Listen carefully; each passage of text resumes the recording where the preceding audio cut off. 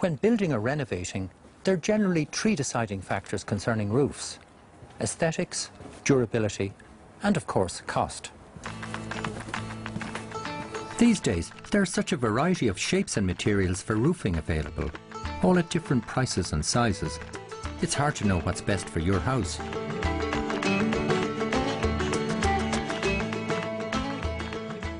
Choosing the right roof is an investment into the future of your house.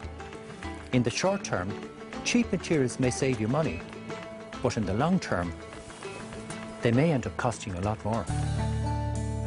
There are plenty of options available, many of which are cheaper than older, more traditional roofing materials. Concrete interlocking tiles are laid with a single lap. They're a very common and much cheaper choice and are relatively low maintenance and reasonably durable option. Similarly, cement fibre slates are a man-made product that have been designed to match the appearance of the natural traditional slate and also have a double lap.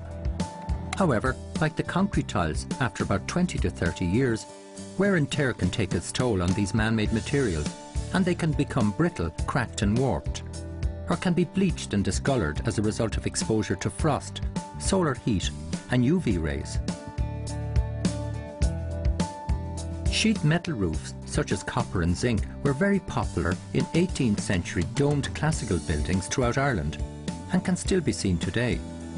Although metal roofing is an expensive option, it's still used today for curved barrel-shaped roofs and can be aesthetically attractive for the right building. Of all the various roofing materials available to us in Ireland today, my favourite is one that has been around for over a thousand years and Georgian Dublin is a testament to its strength and its durability. Slate is a beautiful natural material that comes in many different shapes and colours. The most popular in Ireland is known as Bangor Blue Slate from Penrhyn Quarries in Wales, which was the slate of choice for most Georgian Dublin buildings. In addition to its aesthetic potential, the durability of natural slate is perfect for Irish buildings because of the stormy weather and heavy rainfall that frequently occurs. Unlike more modern, cheaper products, natural slate requires very little maintenance. It's highly impervious to water, so moss growth and staining is much less likely to happen. When laid properly, natural slate roofs can survive for at least 100 years before they even require maintenance. And Georgian Dublin has many slate roofs which are still intact 200 years after they were originally built. Although natural slate usually has a very long lifespan, it isn't uncommon to see slate coming loose from our historic roofs.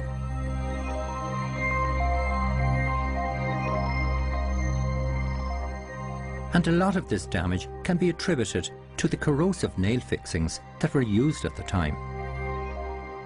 When fixing slates, copper nails should be used, but for extra fastening against extreme storms, stainless steel hooked clips like this are ideal.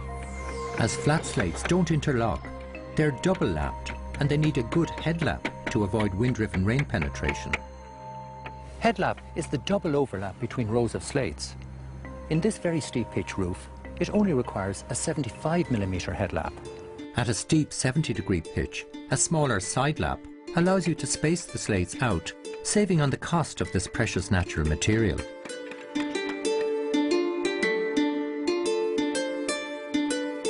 Pitched roofs form an integral part of Irish architecture, and for hundreds of years, quarries in North Wales and even some European countries have supplied Irish builders and architects with this beautiful natural material. Down through the centuries, Bangor Blue Slate has not only made a major contribution to Irish historical architecture, but has proved its durability and functionality as an effective modern roofing material for future Irish buildings.